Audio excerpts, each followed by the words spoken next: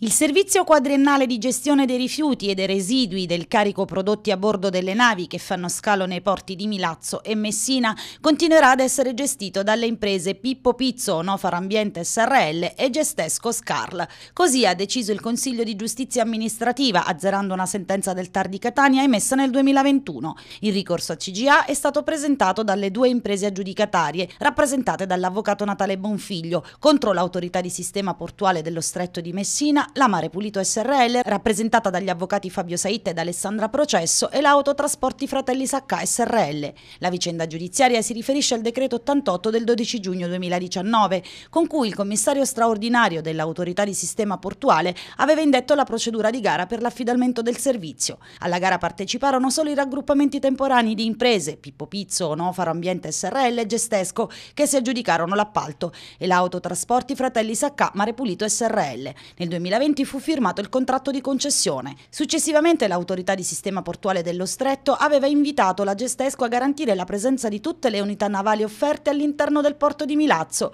ma l'impresa ribadì che avrebbe garantito solo quelle previste dal contratto. Così nel gennaio 2021 fu avviato procedimento di risoluzione del contratto e la revoca del decreto di aggiudicazione. Le due imprese aggiudicatarie fecero ricorso al TAR che aveva rigettato le loro istanze. Il CGA invece, accogliendo l'appello dell'ATI, ha ribadito come i riferimento all'utilizzo dei mezzi navali contestato dall'autorità portuale, non sia stata dimostrata l'impossibilità di svolgere correttamente il servizio richiesto presso lo scalo portuale di Milazzo e che dunque non vi sia prova che il concessionario sarebbe venuto meno alle proprie obbligazioni contrattuali. Annullato quindi il decreto con cui si è proceduto alla risoluzione del contratto di concessione e alla contestuale revoca del decreto di aggiudicazione. Le imprese Pippo Pizzo, Nofar Ambiente SRL e Gestesco Scarl potranno quindi proseguire a gestire il servizio.